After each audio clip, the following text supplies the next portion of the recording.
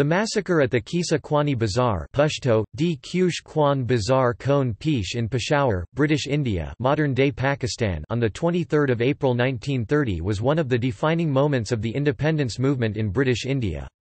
It was the first major confrontation between British troops and demonstrators in the city. Estimates at the time put the death toll from the shooting at between the official count at 20, and the figure of 400 dead put forth by Pakistani and Indian sources. The gunning down of unarmed people triggered protests across British India and catapulted the newly formed Khudai Khidmatgar movement into prominence.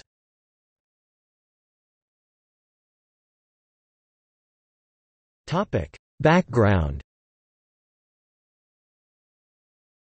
The Khudai Khidmatgar literally servants of God, led by Khan Abdul Ghaffar Khan, were a group of Muslims committed to the removal of British rule through nonviolent methods.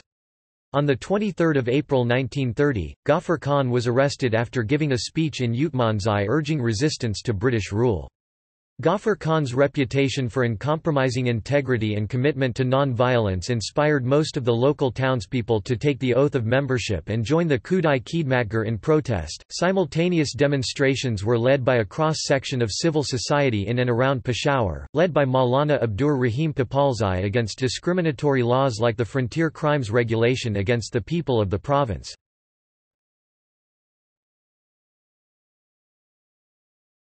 Topic: Clashes at the Qissa Khwani Bazaar After other Khudai Khidmatgar leaders were arrested, a large crowd of the group gathered at the Qissa Khwani Bazaar.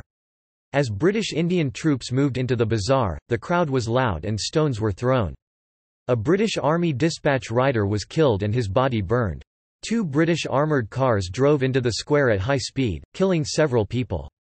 It is claimed that the crowd continued their commitment to non-violence, offering to disperse if they could gather their dead and injured, and if British troops left the square. The British troops refused to leave, so the protesters remained with the dead and injured. At that point, the British ordered troops to open fire with machine guns on the unarmed crowd. The Khudai Khidmatgar members willingly faced bullets, responding without violence. Instead, many members repeated God is great Allahu Akbara and clutched the Quran as they went to their death. The exact number of deaths remains controversial. Official figures give 20 dead while nationalist sources claimed several hundred were killed, with many more wounded. Two platoons of a respected British Indian Army regiment, the Royal Garhwal Rifles, refused to board buses that were to take them into Peshawar for anti-riot duty. A British civil servant wrote later that Hardly any regiment of the Indian Army won greater glory in the Great War, World War I than the Garhwal Rifles, and the defection of part of the regiment sent shock waves through India, of apprehension to some, of exultation to others.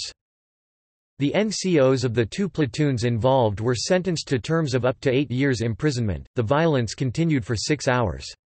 Gene Sharp, who has written a study of nonviolent resistance, describes the scene on that day. When those in front fell down wounded by the shots, those behind came forward with their chests bared and exposed themselves to the fire, so much so that some people got as many as 21 bullet wounds in their bodies, and all the people stood their ground without getting into a panic. The Anglo-Indian paper of Lahore, which represents the official view, itself wrote to the effect that the people came forward one after another to face the firing and when they fell wounded they were dragged back and others came forward to be shot at. This state of things continued from 11 till 5 o'clock in the evening. When the number of corpses became too many, the ambulance cars of the government took them away.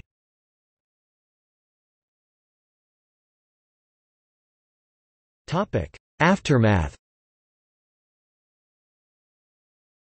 In Peshawar and the surrounding area, the Khudai Khidmatgar suffered some of the most extreme suffering of the Indian independence movement. Ghaffar Khan later wrote that this was because the British thought a non-violent Pashtun was more dangerous than a violent one. Because of this, the British did everything they could to provoke them into violence, with little effect. The British action against the local Indian population created unrest. This resulted in King George VI, Emperor of India, launching a legal investigation into this matter. The British Commission brought the case forward to Chief Justice Naimatullah Chaudhry, a distinguished judge of the Lucknow Protectorate. King George VI subsequently knighted Naimatullah Chaudhry. Naimatullah personally surveyed the area of massacre and published a 200-page report criticizing the British actions.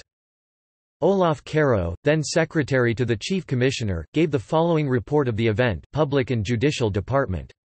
Civil disobedience campaign in NWFP. Response to Patel allegations. British Library reference number L per Peter Jewell, 6 2007 I received a note on the 23 April evening from Sir Norman Bolton asking me to do what I could to arrange for the burial of as many of the casualties as possible during the night, in order to avoid the danger of a fresh riot occurring over the funeral procession. I spoke to R.S. Mehr Chand Khanna and asked him to bring me some of the leading Khilafis at the municipal library. He brought M. Abdurab Nishtar, M. Ataullah Jan, Municipal Commissioner, M. Aurangzeb Khan, Vakil, Qazi Mohd Aslam, Vakil. I informed these persons what was required and asked for their cooperation as peace-loving citizens and good Muslims. They agreed to do what they could and asked me to arrange for lorries, saying they would persuade the relatives to agree.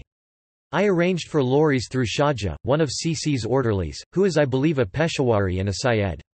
During the night in this way we sent away seven or eight bodies in lorries. Some of them had no relatives and arrangements were made to pay for a mullah and to carry through the obsequies with all regard to religious rites. The next day Qazi Mohd Aslam came to see me and said that he was making himself unpopular by assisting in the matter. He gave me to understand that he could do no more. I fancy that the association of these four men with the action taken will put an end to any attempt to make capital of the incident.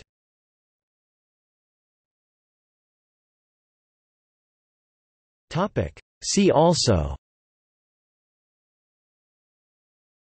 Babra massacre Takar massacre Hathakal massacre